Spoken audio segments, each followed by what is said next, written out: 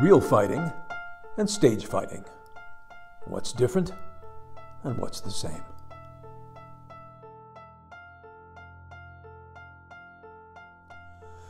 I've spent more than 50 years studying real fighting of all kinds, with swords in particular. Now, stage combat has never been my main scene, and I, I have great respect for people for whom it is. But I have done a little bit of it.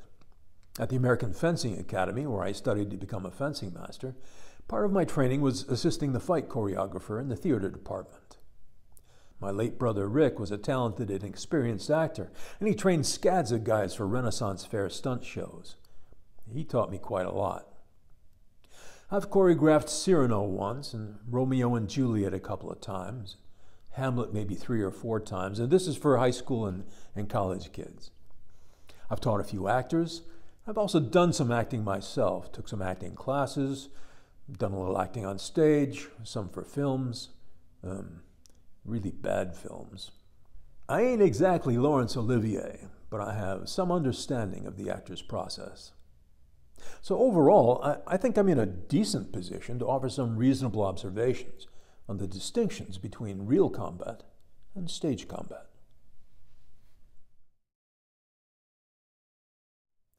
Now, for the purpose of this discussion, I'm going to lump classical fencing in with real combat, because classical fencing is real combat, but without the lethal intent. We fence as if the blades were sharp we do take reasonable measures to ensure the physical safety of the fencers a mask, padded clothing, modified blades. But we still try to simulate an actual duel with the highest possible degree of verisimilitude.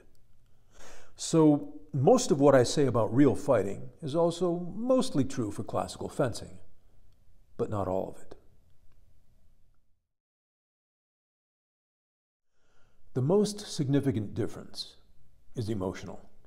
This is where both stage combat and classical fencing share something that real fighting does not. No matter how realistic a stage fight or a fencing match might be, it is nothing like a real fight. On stage or on the strip, you know the other guy isn't really trying to kill you. In a real fight, you know he is. And that changes everything.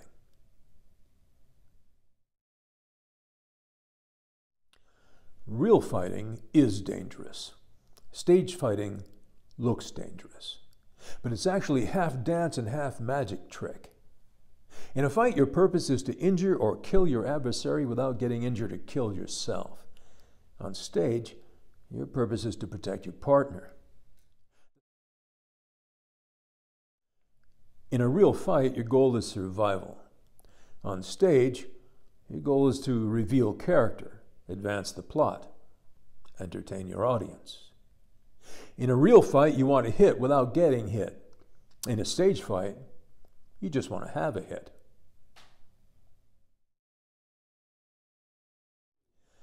Real fights use real weapons, sharp swords, loaded guns. Stage fights never use real weapons, blunt swords, non firing prop guns. There is absolutely no reason to have a live weapon on the set. If you show up for an acting gig and there is one, walk away, brother. Walk away.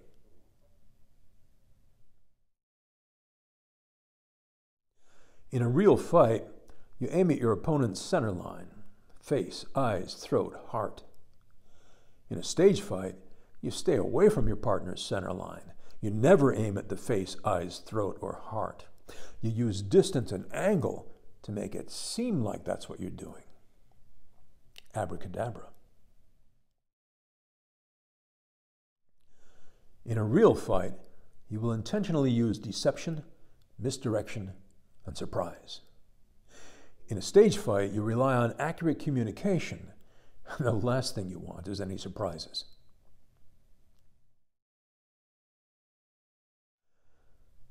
In a real fight, the amplitude of your actions will be minimalist, as small as possible, simple, subtle. On stage, Your actions have to be large enough to be seen and understood even by the people in the cheap seats. So it's exaggerated, flashy, more complex. All the better to entertain you with, my dear.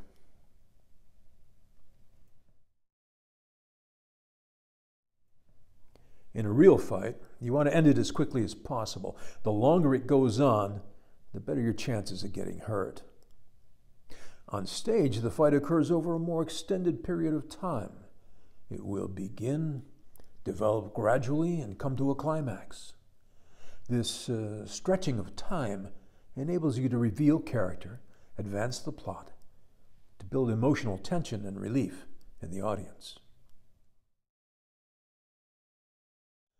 In stage combat, you never get as much rehearsal time as you'd like to have. In a real fight, you don't get any rehearsal time.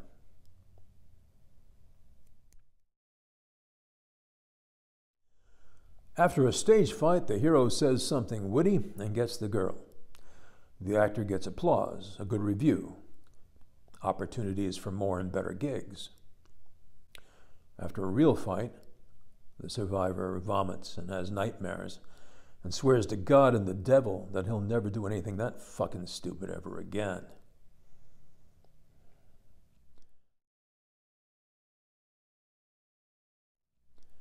Real fighting and stage fighting do have some things in common.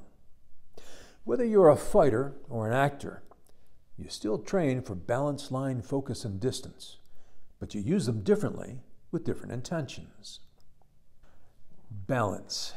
It's very important to be in control of your own movement, to be or not to be where you want to be and when you want to be there. In a fight, it's to avoid getting hit. On stage, is to avoid accidents. Line. In real fighting, to remain covered. On stage, to direct the eye of the audience. Focus. You must be externally focused to read your opponent's actions before they happen. In a fight, so you can attack on the preparation. On stage, to stay in sync with your partner and avoid accidents. Distance, the manipulation of interval and angle. In a fight, to avoid being hit. On stage, to avoid hitting your partner.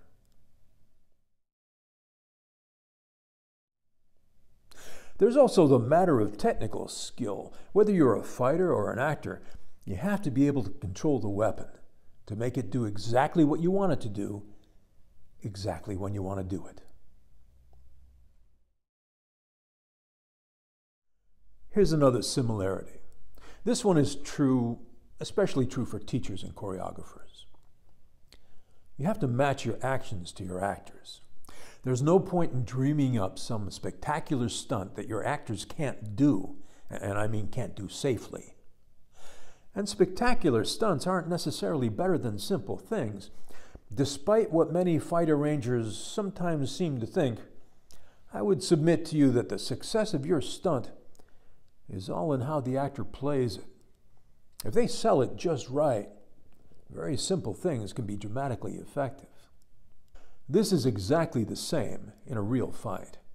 It isn't the spectacular acrobatic move requiring creative genius and feline agility that carries the day. It's the simple action, done at the right moment, and done exactly right.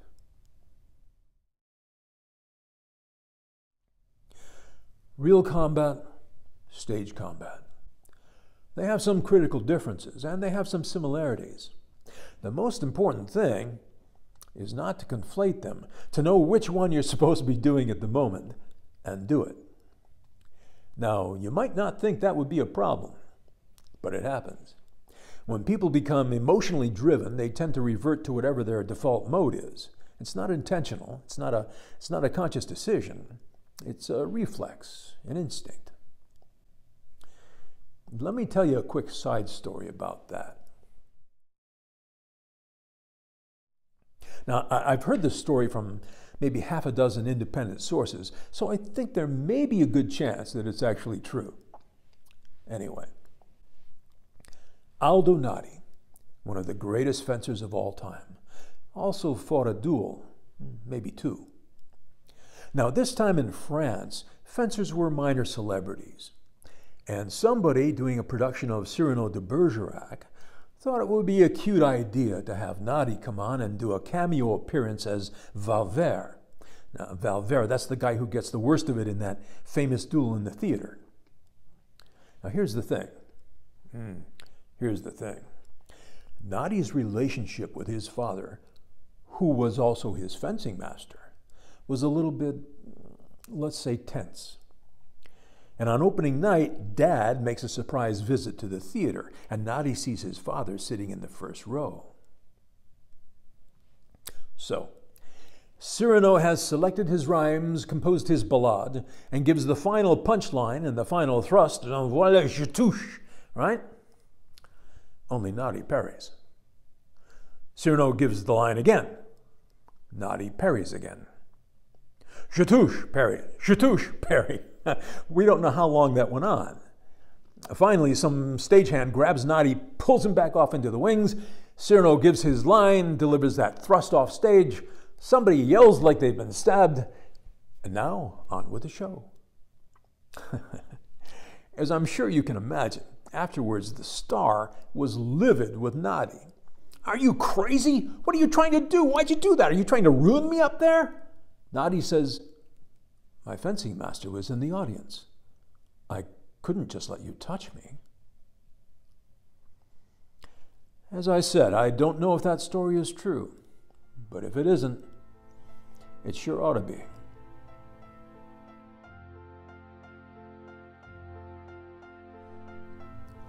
One final similarity between real fighting and stage fighting.